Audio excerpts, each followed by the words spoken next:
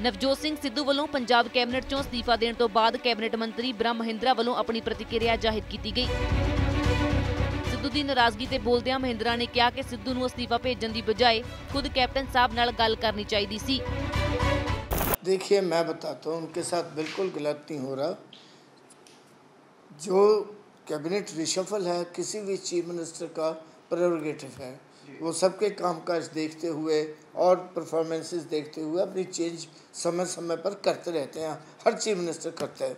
अब जब ये चेंज हुई है, मेरा भी पोर्टफोलियो चेंज हुआ है, मैंने भी नया डिपार्टमेंट ज्वाइन किया और तो तेरह पोर्टफोलियोज जो हैं, वो चेंज हुए हैं, तेरह मंत्रियों में। तो कोई ऐसी बात नहीं थी चीफ मिनिस्टर साहब ने अपना प्रेरोगेटिव यूज़ करके उनका पोर्ट उनको बड़ा अच्छा पोर्टफोलियो दिया गया। तो मैं भी चाहता था कि वो ज्वाइन करें।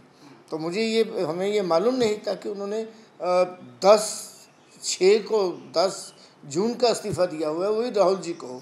उसका बाहर बात नहीं आई थी कि उन्होंने इस्तीफ़ा ऐसे दिया हुआ है।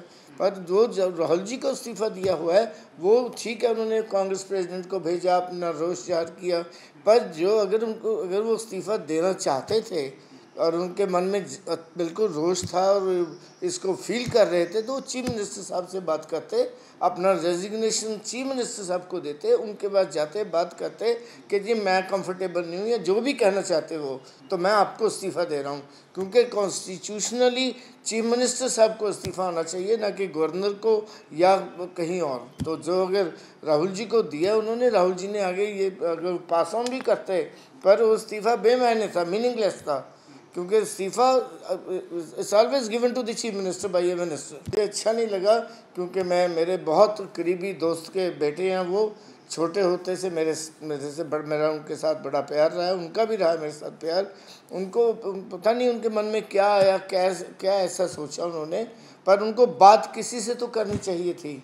अब कहाँ, क्या बात किया नोबडी नोज़ कहाँ थे। देखिए तो उन्हीं की सोच है, मैं तो आज भी कहूँगा कि अभी अभी भी इशू सेटल हो सकता करें। इस्तीफ़ा भेजने की बजाय ट्विटर पे ट्वीट करने की बजाय उनको सीएम साहब के पास जाना चाहिए था। बड़े हैं उनसे। उनके पिता समान हैं। कभी दो तीन बार कहा भी है उन्होंने कि सीएम साहब मेरे पिता समान हैं। आपको भी मालूम होगा इस बारे में। जब ये समझते हैं कि मेरे पिता समान है तो रेजिग्नेशन लेके ही चले जाते, अपना रोज दिखाते। शायद देखो, ये कैबिनेट चेंजेस पोर्टफोलियोज की आती रहती है।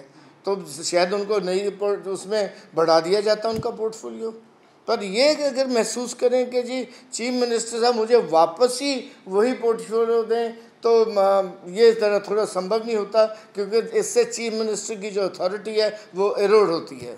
देखो उनको उनका ये तो अब उनकी सोच है जी क्यों ट्विटर पे दे रहे हैं मेरा मेरे तो ये मानना है कि उनको आप मिलके बात करनी चाहिए थी मुझसे बात कर लेते कि मुझे अंकल कहते हैं वो मुझसे बात कर लेते कि अंकल मेरे को ये मन में मेरी समस्या है मेरा मेरा समस्या का हल करो ਗੌਰਤਲਬ ਹੈ ਕਿ ਨਵਜੋਤ ਸਿੱਧੂ ਨੇ ਰਾਹੁਲ ਗਾਂਧੀ ਨੂੰ 10 ਜੂਨ ਨੂੰ ਅਸਤੀਫੇ ਦੀ ਭੇਜੀ ਚਿੱਠੀ ਬਾਰੇ ਖੁਲਾਸਾ ਕਰਨ ਤੋਂ ਬਾਅਦ ਹੁਣ ਆਪਣਾ ਅਸਤੀਫਾ ਸੀਐਮ ਕੈਪਟਨ ਨੂੰ ਵੀ ਭੇਜ ਦਿੱਤਾ ਹੈ ਜਿਸ ਤੋਂ ਬਾਅਦ ਹੀ ਹੁਣ ਸਿੱਧੂ ਦਾ ਸਿਆਸੀ ਭਵਿੱਖ ਤੈਅ ਹੋਵੇਗਾ ਚੰਡੀਗੜ੍ਹ ਤੋਂ ਅੰਕੁਸ਼ ਮਹਾਜਨ ਦੀ ਰਿਪੋਰਟ ਦੈਨਿਕ ਸਵੇਰਾ ਟੀਵੀ।